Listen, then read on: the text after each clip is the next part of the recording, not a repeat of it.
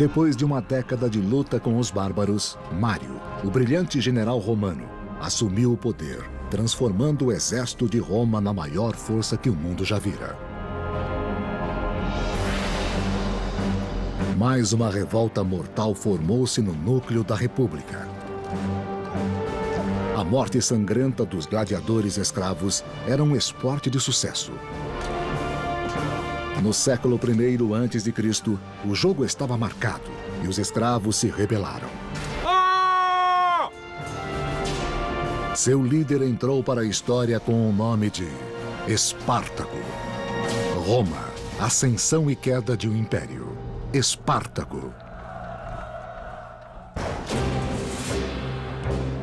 O exército de Roma e sua filosofia de conquistas enriqueceram a República com terras, tesouros e escravos. Capturados em batalhas ou em cidades vencidas, os escravos eram uma mercadoria. Os escravos eram pessoas e os romanos sabiam disso, mas eles fingiam que os escravos não eram pessoas. Que eles eram objetos com pernas, braços e vozes. Entre o terceiro e o primeiro séculos antes de Cristo, a República de Roma expandiu-se do sul da Itália e abarcou quase todo o Mediterrâneo. Os mercados estavam repletos de escravos e os compradores escolhiam suas mercadorias. Se 30% da população da península italiana fosse escrava, no primeiro século antes de Cristo, isso equivaleria aproximadamente ao número de escravos que existiam no sul americano em uma base per capita. Em uma época em que provavelmente 35% da população era de escravos, nos anos 1850. Venham, bons escravos à venda! Venham! Os escravos podiam nascer escravos, podiam ser vendidos como escravos por países estrangeiros ou podiam ser capturados em guerras. Assim havia uma grande variedade tanto do modo que as pessoas viravam escravos e também muita diferença na vida que os escravos levavam. Aproveite, eu tenho aqui os melhores escravos. Columela, um proprietário de terras no primeiro século, escreveu sobre a compra. Meu primeiro conselho é não escolher para capataz algum escravo com corpo agradável. É melhor escolher um homem que, desde a infância, tenha se endurecido no trabalho do campo e que tenha experiência. Capua Itália, 73 AC. Nem todos eram destinados ao trabalho no campo. Os mais fortes eram reservados para o esporte como gladiadores. Os gladiadores eram profissionais. Eles tinham treinadores chamados de lenistai, que se orgulhavam deles como um treinador de futebol orgulha-se de seus homens quando seu time tem um bom desempenho. Eles eram alugados para as pessoas que organizavam os shows ou eram vendidos para quem ia produzir o show. Eles tendiam a ser considerados desse modo como sendo os mais inferiores, pessoas cujos corpos estavam à disposição dos outros. Os gladiadores podiam ser os melhores lutadores profissionais, no tipo de diversão mais cara da época, ou podiam algumas vezes ser criminosos condenados a lutar.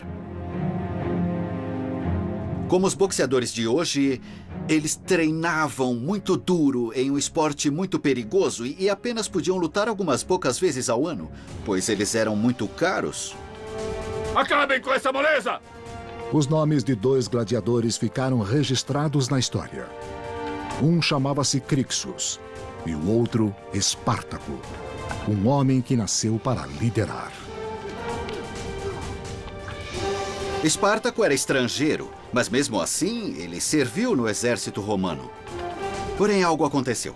Não sabemos se ele desertou, isso é o que alguns dizem, ou se ele foi expulso. Uh, algumas histórias dizem que depois ele se tornou um bandido bem-sucedido nas estradas. Mas finalmente ele foi preso e as autoridades romanas o obrigaram a ser gladiador. Não sabemos se foi contra a vontade dele, mas ele devia odiar isso.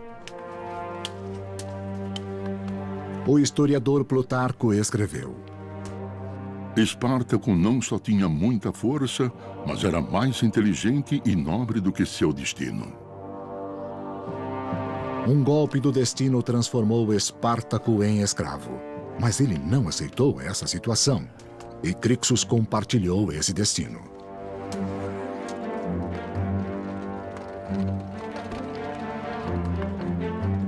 Poucos gladiadores se aposentavam. A maioria tinha morte violenta em uma pequena arena ou em um grande coliseu. É isso aí! Às vezes, a multidão escolhia as armas e se deliciava com a violência. As pessoas estavam prontas para ver outros seres humanos envolver-se em combate mortal diante de seus olhos e achavam isso muito empolgante. No final da República, os homens já se transformavam em heróis por serem gladiadores. E eles atingiam algum tipo de status, pelo menos alguma popularidade com as massas por suas habilidades como lutadores. Um sorteio determinava os que lutariam e morreriam primeiro.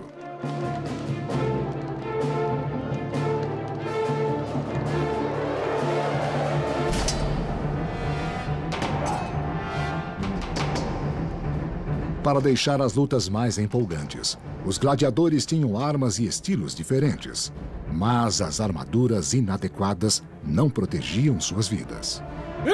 Isso! É!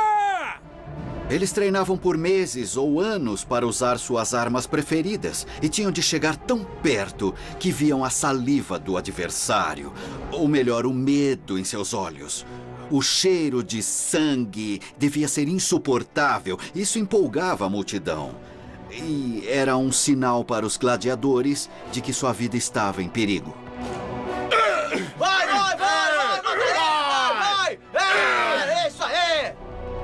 Era uma terrível dança da morte para o prazer da multidão.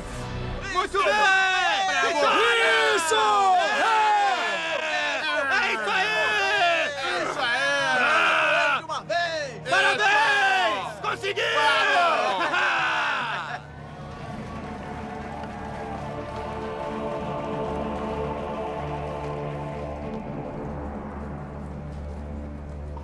Mas em 73 a.C., na Ludus, a escola de gladiadores, alguns alunos cansaram-se de receber ordens dos guardas romanos e resolveram não morrer na arena. Irritados e decididos, eles conspiraram para usar o treinamento para mudar sua sorte. Acabem com essa moleza! Levantem já, vamos! Não! Não! Segundo o historiador Appian, Espartaco e Crixus delinearam um plano. Ele persuadiu 70 escravos a fugir para a liberdade, em vez de se exibir para a diversão dos outros. Ah! Espartaco era um grande gladiador, mas havia um fogo dentro dele. Eu acho que é o fogo do ressentimento da perda da liberdade, o fogo do desejo de justiça. Assim, Espartaco organizou seus companheiros gladiadores para se rebelar e fugir para a liberdade. Vamos! Vamos! Vamos ali! Ali!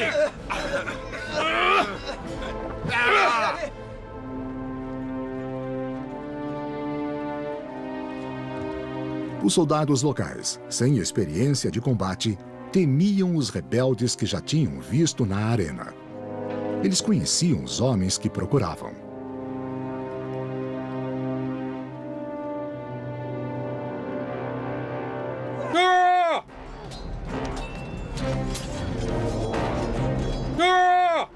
O historiador Plutarco escreveu: Os gladiadores repeliram os que vinham da cidade de Capua e ficaram com muitas das armas mais apropriadas para a batalha. Eles também se desfizeram de suas armas de exibição, que consideravam bárbaras e vergonhosas. Peguem as armas! Espartaco levou seus homens da escravidão para a luta, deixando romanos mortos em seu caminho. Depois de vencer os soldados locais, Espartaco levou o exército de escravos até o Monte Vesúvio, onde se abrigaram no alto de uma crista íngreme. Espartaco e Crixus haviam fugido às autoridades romanas. Agora, precisavam preparar os homens para as batalhas inevitáveis.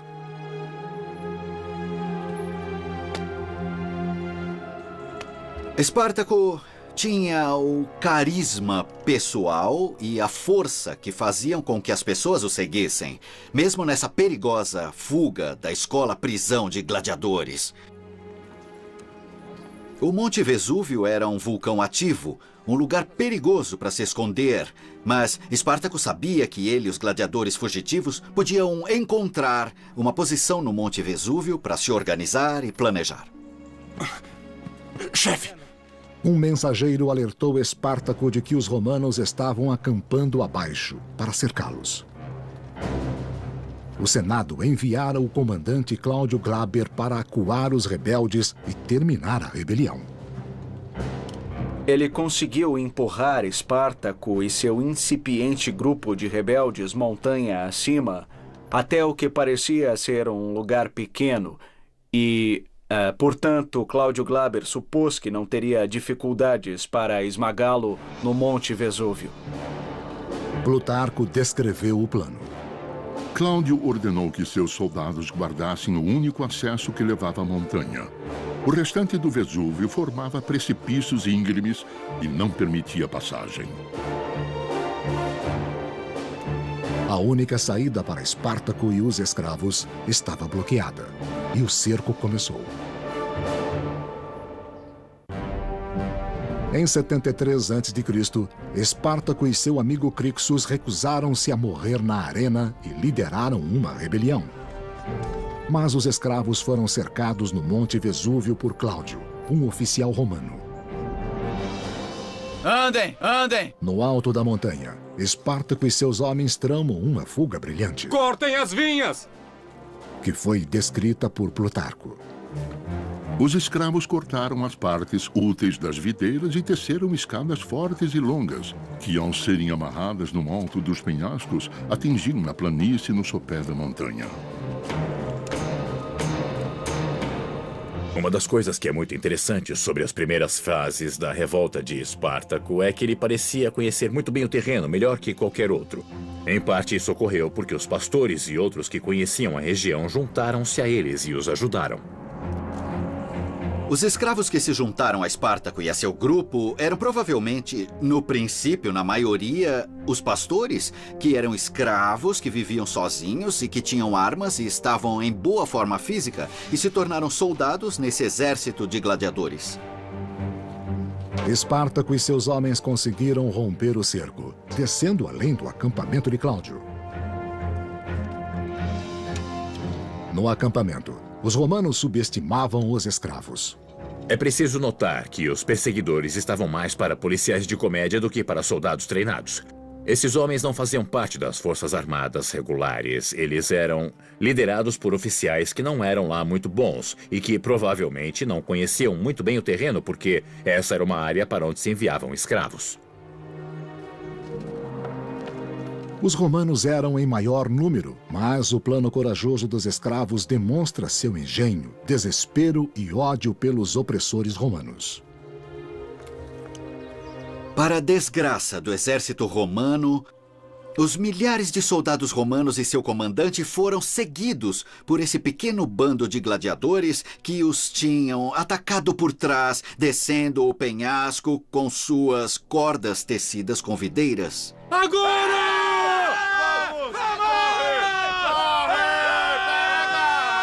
O movimento cresceu com a vitória, segundo o historiador Apia. Muitos escravos fugitivos e alguns homens livres das redondezas juntaram-se a Espartaco e começaram a saquear as aldeias próximas. Como Espartaco dividia os lucros dos saques em partes iguais, ele logo atraiu muitos seguidores. Um grupo que Espartaco não aceitava em seu bando rebelde eram os desertores do exército romano.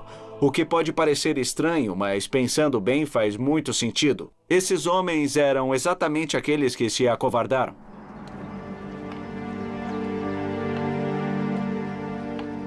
Está ficando bom. Continue. Florus escreveu no segundo século. A chegada diária de novos recrutas criou um exército regular. Eles fizeram escudos toscos com galhos cobertos por peles e fundiram seus grilhões para fazer espadas e lanças. Os homens de Espartaco faziam o que não podiam fazer: roubavam aos mortos.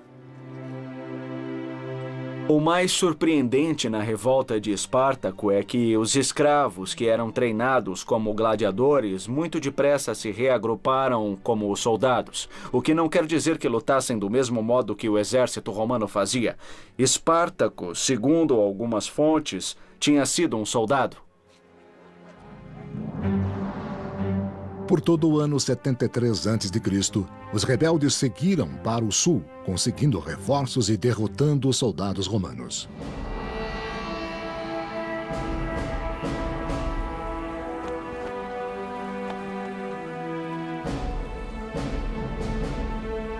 O Senado enviou um novo comandante, Públio Varínio, para combatê-los. Varínio levou seu melhor garanhão e também o símbolo tradicional do poder romano, chamado de facho. Um feixe de varas de madeira ao redor de um machado.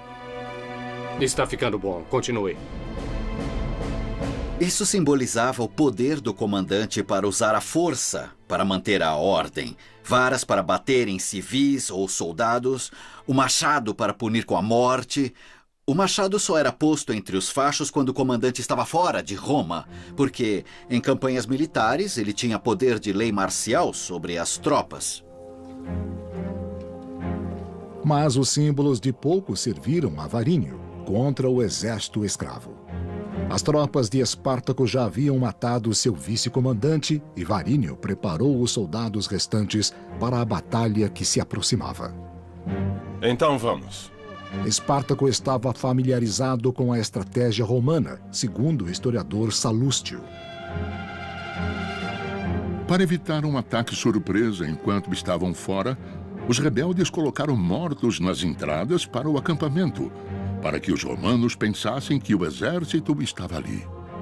Com esse artifício, os rebeldes podiam atacar os romanos quando quisessem, pegando-os de surpresa.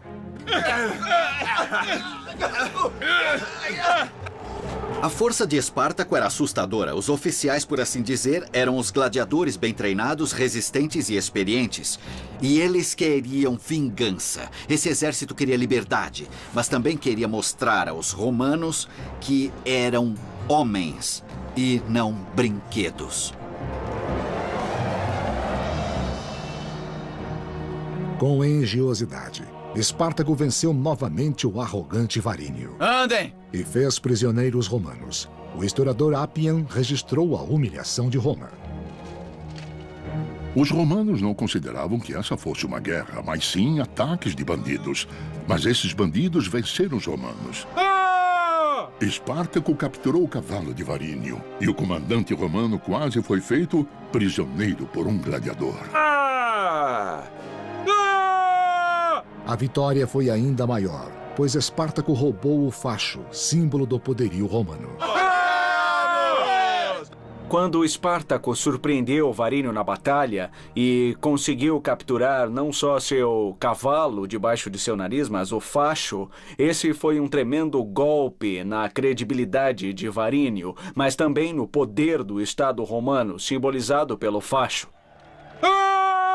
Espartaco tornou-se uma figura famosa e temida, que comandava 70 mil rebeldes.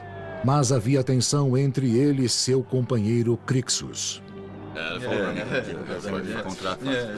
Eu peguei aquele cara. Tinha certeza? Com certeza. É, tá bom. Espartaco estava dizendo aos romanos: Sou tão bom quanto um romano. Lutei no exército romano, tenho a mesma compreensão da liberdade, eu tenho a mesma compreensão do valor da vida e da morte para escravos e homens livres. Mas Crixus foi consumido pelo desejo de vingança e não mostrou piedade pelos prisioneiros romanos, como escreveu o historiador Orósio. Isso! Isso! Isso!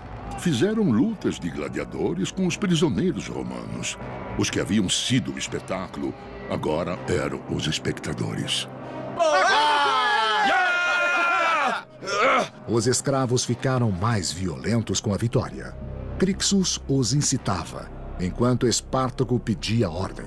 A unidade começou a se desfazer. Bravo! Muito bom! É isso! Então, Crixus deu um golpe, soltando a fúria dos escravos contra civis romanos indefesos. O historiador Salústio descreveu os fatos. Os escravos fugitivos começaram a violar moças e mulheres casadas, matando as que tentavam resistir. Espartaco tentou impedi-los, mas não conseguiu controlá-los.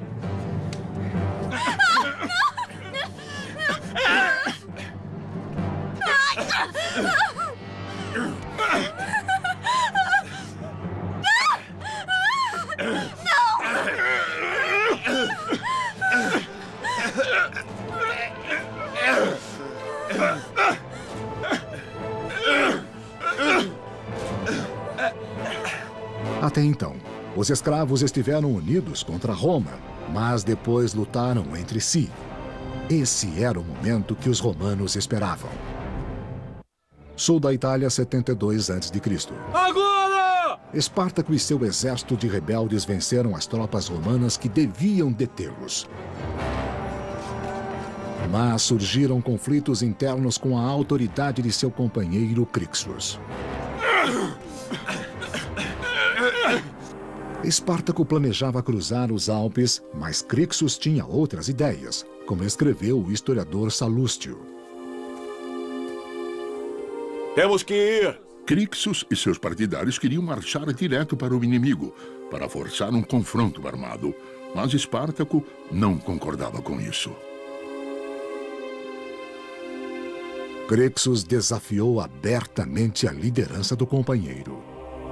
O interessante em relação à revolta de Espartaco é que ele parecia não ter um plano. Na área onde ele estava, ele tinha provavelmente milhares de partidários e precisava se mover de uma área para outra da Itália para que houvesse comida para todos. Crixus abandonou o acampamento escravo acompanhado por alguns rebeldes e Espartaco ficou sozinho na liderança. Nós podemos seguir por aqui. Os dois seguiram caminhos diferentes na Itália. Roma preparou-se para atacar o exército escravo dividido. Os cônsules Lúcio Gélio Publicola e Gneu Cornélio Lentulо criaram uma estratégia. Os romanos consideravam os escravos ao mesmo tempo como subhumanos violentos, mas também reconheciam que esses escravos eram muito bem sucedidos na batalha contra os romanos. Então tudo isso criou seu pior pesadelo: que os escravos vencessem novamente no campo de batalha. E depois foram para esse lado. Essa rebelião estava cada vez mais parecida com uma guerra e exigia um bom plano.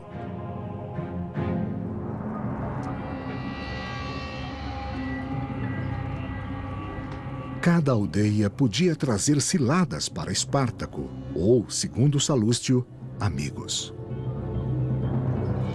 Espartaco!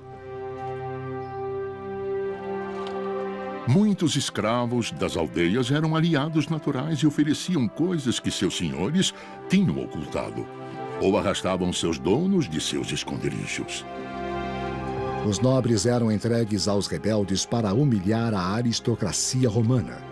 Espartaco também recebia alimentos, armas e mais soldados para seu exército. Comida!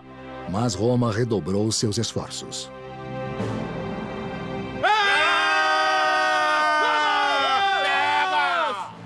Nas montanhas do leste da Itália, Crixus e seus partidários foram caçados pelas tropas do cônsul Lúcio Gélio. Plutarco escreveu.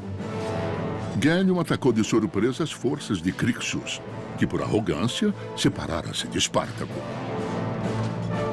O historiador Appian escreveu. Crixus comandava 30 mil homens, dois terços dos quais pereceram, inclusive o próprio Crixus.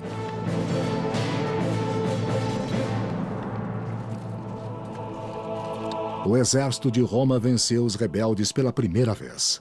Mas Espartaco ainda estava livre, e os romanos não demoraram a partir em perseguição aos rebeldes fiéis a Espartaco. Em um movimento de pinça, os comandantes romanos Gélio e Lentulо acamparam dos dois lados de uma passagem nas montanhas. Mas não estavam preparados para enfrentar um exército de escravos desesperados. Um ponto importante sobre a revolta de Espartaco é que ela irrompeu em um momento em que os melhores exércitos de Roma não estavam na Itália. Eles estavam na Espanha ou estavam na Turquia. Os soldados enviados contra Espartaco eram inexperientes.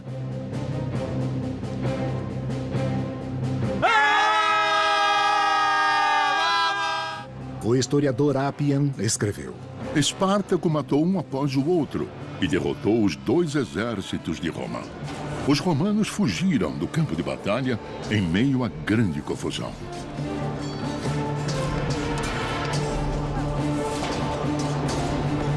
Ah! Os oficiais romanos enfrentavam um desafio militar enorme e o corpo de oficiais romano, que não tinha treinamento profissional, não estava à altura da situação. Mais uma vez, Espartaco derrotou o exército romano. Mas desta vez, isso não bastava. Ele queria vingar a morte de Crixus e sacrificou 300 prisioneiros romanos. Ele passou a ter uma imagem totalmente contra o sistema, celebrando a derrota dos cônsules romanos, executando prisioneiros romanos, destruindo as propriedades dos ricos no interior do país, oferecendo uma alternativa ao sistema no poder, e isso aumentava sua força.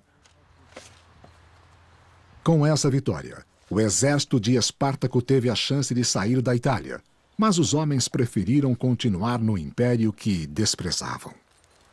Não sabemos muito bem por que as forças de Espartaco retornaram do norte da Itália. Eles gostaram tanto do sucesso que estavam embriagados com ele e queriam continuar.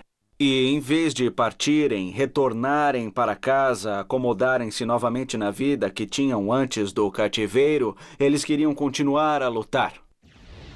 Os rebeldes voltaram ao sul, até a cidade de Turi, onde fixaram sua base de operações. Roma Itália, 71 a.C. No terceiro ano da rebelião, Roma estava desamparada. O Senado convocou Marco Licínio Crasso, um nobre rico que adorava a glória tanto quanto amava o dinheiro.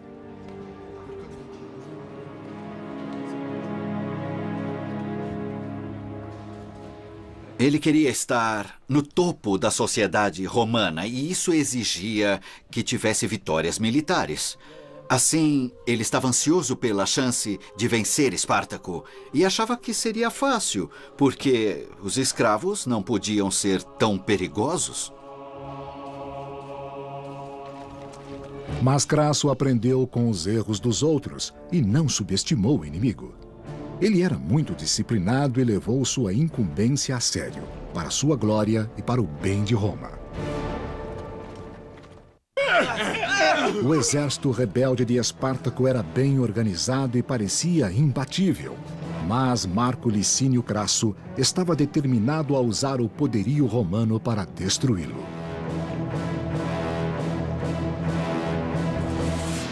Crasso descobriu que os soldados romanos eram indisciplinados, covardes e prontos a se retirar da batalha. Mas ele não toleraria isso.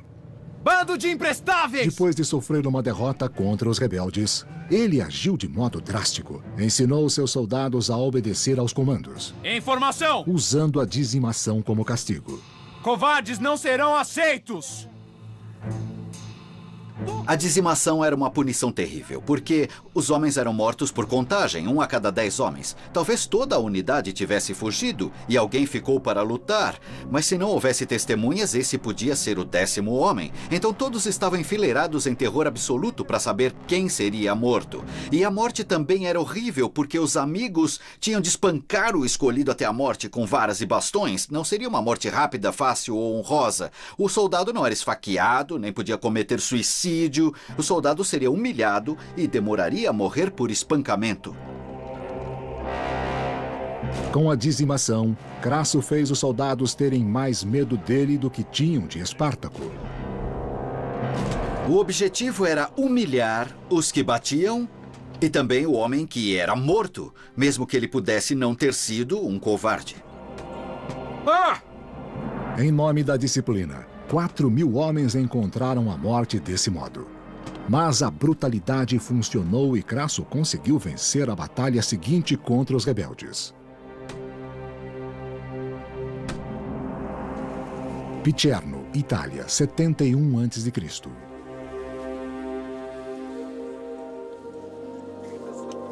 Covardes não serão aceitos! Ao contrário de outros oponentes de Espartaco, Crasso era um homem experiente. Ele sabia como treinar um exército, sabia como organizar as tropas, ele tinha a experiência necessária. E então, pela primeira vez, Espartaco foi confrontado por um verdadeiro general romano e não por um político liderando um grupo de homens inexperientes. Atacar! A luta começou. Um exército romano bem treinado contra um bando de rebeldes violentos e desesperados. Crasso virou o equilíbrio de forças contra Espartaco.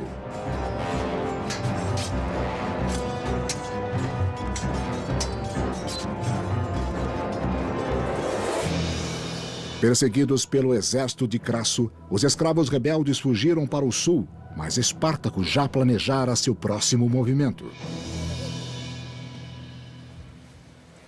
Os mares italianos eram controlados por piratas que desafiavam todas as leis romanas, só respeitavam o ouro e traficavam escravos. Espartaco enviou mensageiros a fim de negociar com eles. Espartaco tentou de tudo para tirar seus homens da Itália em segurança. Finalmente, em desespero, ele fez um acordo com o diabo, com os piratas da Cilícia, que se localiza na atual Turquia. Eles eram famosos, esses piratas, por atacar navios, mas eles também eram famosos como os maiores escravagistas no Mediterrâneo. Os piratas da Cilícia tinham muitos lucros capturando e vendendo escravos. Espartaco sabia, quando fez o acordo com os piratas para que viessem à Itália e transportassem seus homens, que havia um perigo real de que os piratas da Cilícia simplesmente vendessem os homens como escravos novamente.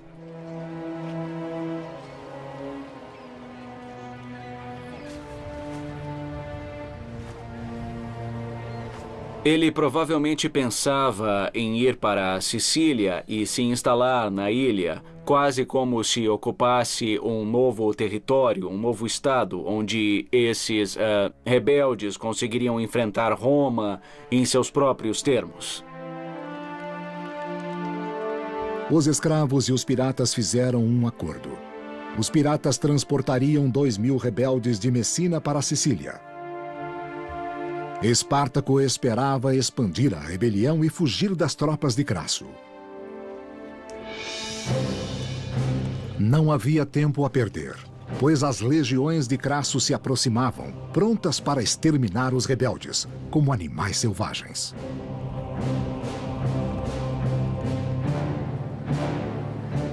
Perseguidos pelos romanos, Espartaco e seu grupo chegaram ao extremo da Itália, mas não encontraram os navios. Os piratas os traíram e os romanos se aproximavam.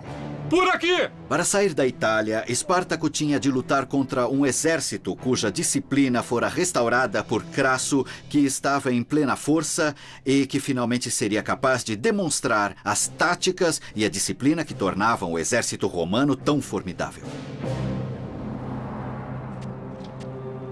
Acabem com essa moleza! Crasso foi inteligente. Ele conhecia a força dos homens de Espartaco, sabia que o tempo era seu aliado e decidiu cercá-los, como escreveu Plutarco. Essa grande e difícil obra foi realizada em um tempo extremamente breve, criando um fosso de um mar ao outro e, acima dele, construindo uma alta e forte muralha.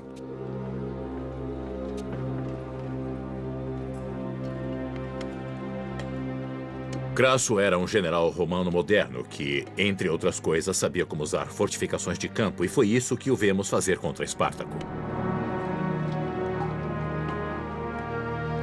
A Grande Muralha tinha 56 quilômetros de comprimento e 5 metros de altura. Plutarco comentou. Quando os alimentos escassearam e Espartaco quis sair da península, encontrou o bloqueio da muralha. Espartaco tinha que sair dali, mas a muralha o impedia. Depois de três anos, os rebeldes estavam encurralados.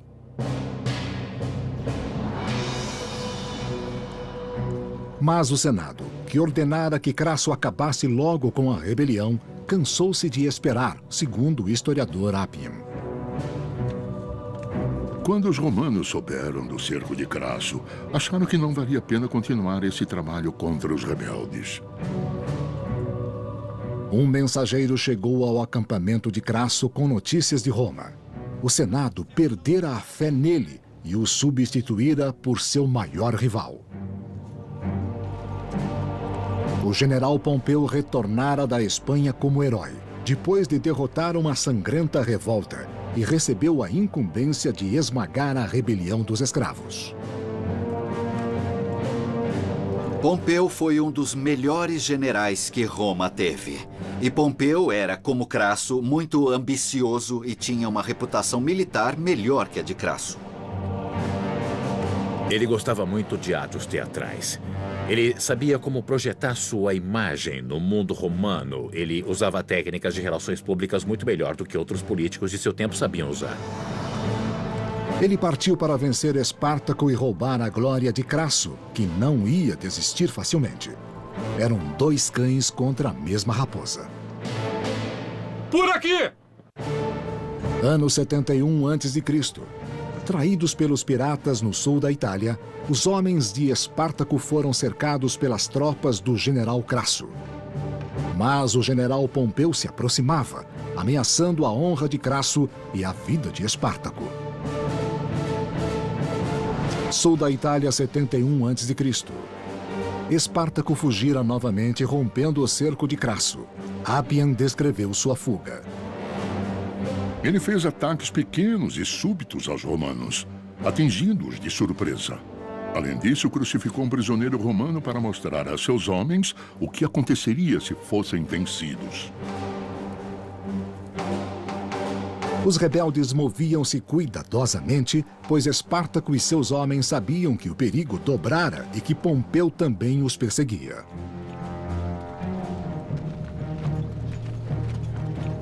Pompeu tinha conseguido a fama de ser um homem de finalização. Ele chegava no final de uma luta longa, cruel e muito difícil, por assim dizer, e terminava com a glória por ter conseguido a vitória. Sabendo que Pompeu se aproximava, Crasso queria esmagar a rebelião o quanto antes. Espartaco, querendo evitar um massacre, enviou um mensageiro a Crasso com uma oferta de trégua. Espartaco esperou confiante pela resposta de Crasso, pois tinha certeza de que os romanos o ouviriam, embora os rebeldes estivessem prontos para lutar. Ele tentou negociar com os líderes romanos porque Espartaco via a si mesmo como um homem livre. Foi assim que ele começara a vida e Espartaco dirigia seus homens como um exército romano, como se tivesse a mesma honra que seus adversários. Mas quando o mensageiro voltou, ficou claro que os romanos consideravam Espartaco como um escravo. Com o fracasso das negociações, chegara o dia que Espartaco mais temia. Mesmo que vencesse Crassus em batalha, Pompeu estaria logo atrás. Espartaco não podia fugir, nem se render. O historiador Plutarco escreveu: Vamos, vamos! Espartaco reconheceu que não tinha escolha e colocou seu exército em formação de batalha. Quando lhe trouxeram seu cavalo, Espartaco tomou da espada e matou o animal. Ele proclamou que, caso vencesse a batalha, ele não precisaria de um cavalo, pois teria mil cavalos à sua disposição. Caso ele perdesse a batalha, ele também não precisaria de um cavalo. Quer dizer, ele havia desmontado, ele se juntara aos soldados a pé em sua tropa e chegar até ali para a luta final. Crasso e seu exército encontraram Espartaco perto de Brundísio, no sul da Itália.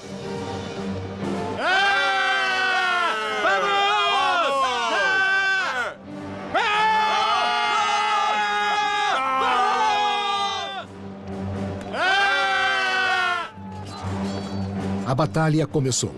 Três anos de revolta levaram à luta decisiva entre Crasso e Espartaco, no maior dos confrontos entre dois grandes exércitos.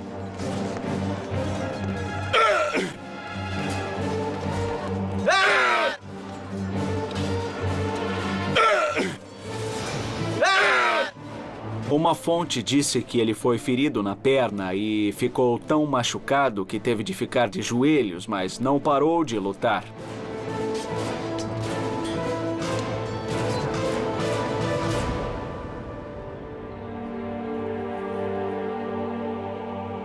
O historiador Appian escreveu: Foi um massacre tão grande que não se pôde contar os mortos.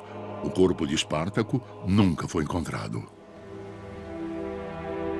Espartaco não aproveitou a chance de escapar, o que poderia ter feito individualmente. Espartaco foi um homem que mostrou ter lealdade e um senso de honra pelo menos tão forte e sincero quanto o de qualquer romano que não fosse escravo.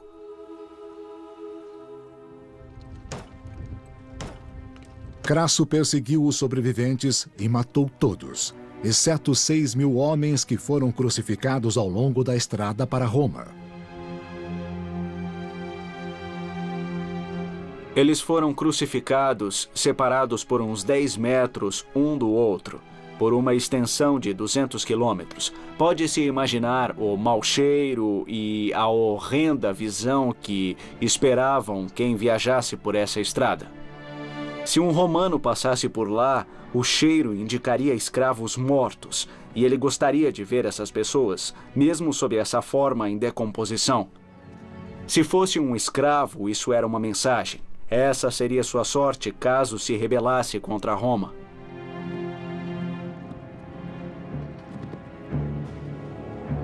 Crasso derrotou a rebelião dos escravos, embora alguns rebeldes escapassem ao massacre. Mas Pompeu foi quem riu por último. Pompeu chegou bem a tempo de perseguir os 5 mil gladiadores que conseguiram fugir desse combate, dessa grande batalha, e capturou ou matou os que restavam. Segundo Plutarco, Pompeu acabou recebendo todas as glórias. Pompeu informou ao Senado que, embora Crasso vencesse uma batalha, fora Pompeu quem vencera a guerra. A carreira de Pompeu é muito interessante. De fato, Pompeu, em certo ponto, foi acusado de ser um urubu. Ele se alimentava da caça de outras pessoas. Os romanos se apressaram a superar a rebelião escrava. Pompeu recebeu a maior honraria romana por suas vitórias contra os inimigos na Espanha.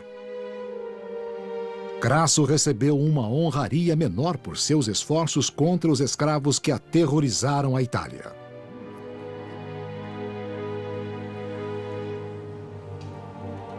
A morte de Espartaco em 71 a.C. marcou o fim das rebeliões de escravos em Roma, e a escravidão continuou a sustentar a economia do império. Mas os romanos aprenderam as lições da revolta. Na imaginação dos romanos, Espartaco tornou-se o equivalente a Osama Bin Laden. Ele era uma figura assustadora em qualquer lugar, era uma ameaça mesmo que não pudesse ser visto, e temiam que surgisse outro como ele. Os romanos perceberam com a revolta escrava que era preciso manter o exército em plena forma. Pode ter sido nessa época que os romanos começaram a perceber que precisavam de um exército profissional para manter a segurança do país e também como proteção contra invasores estrangeiros. Mas nem um império tão poderoso pode durar para sempre. E muito depois de sua queda, a história de um homem que o enfrentou ainda permanece.